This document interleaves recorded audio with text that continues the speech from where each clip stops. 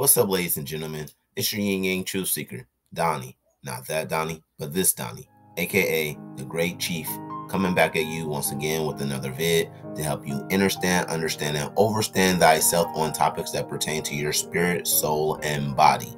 So, with that being said, in today's video, I feel the need to talk about the celestial bodies so you can get a better idea as to what do astrologers and philosophers mean when they say as above so below, as within, so without. So without further ado, let's talk about it right after this intro.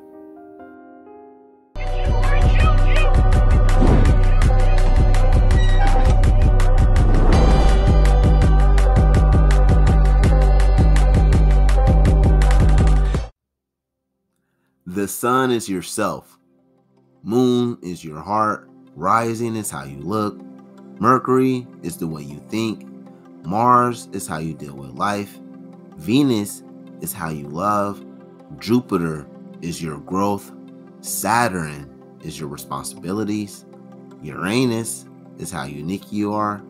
Neptune is your imagination.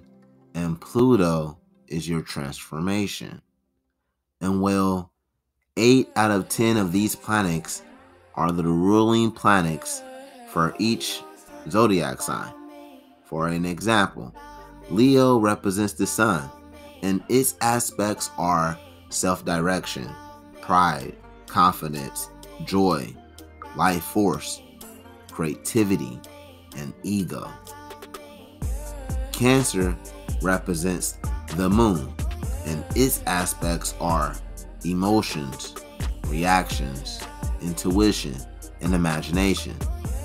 Side note Cancer, Leo, and Scorpio are the only signs with their own planets because they're special like that.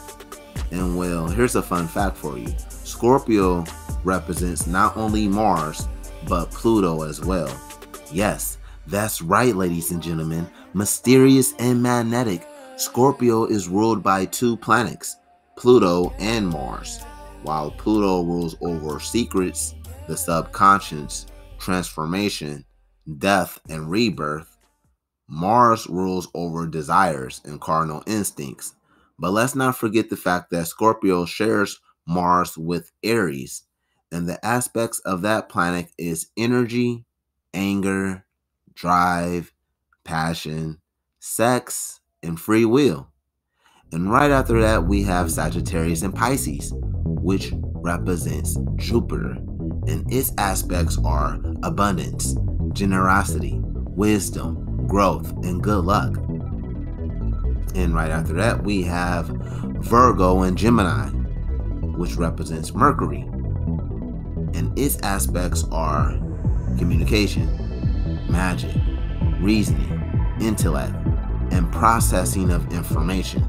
And here's another fun fact for you my Mercury is actually in Gemini. So I suppose you could say I've been thinking accordingly my whole life. Wink, wink. Anyways, as if that wasn't corny, Taurus and Libra represents Venus, and its aspects are love, beauty, relationships, attraction, pleasure, and money. And lastly but not least, we have Capricorn and Aquarius, which represents Saturn, and its aspects are endings, fear, challenges, limitations, and self control. And well, these zodiac signs also play out as our body parts and organs as well. Therefore, I shall give you a quick rundown of these signs and the body parts that they represent. After all, this video is titled The Celestial Bodies. So let's break this body down, shall we? Starting with Aries, which symbolize your head, face, brain, and eyes. Taurus symbolize your throat, neck, and vocal cords. Gemini symbolize your arms, lungs, hands, and shoulders.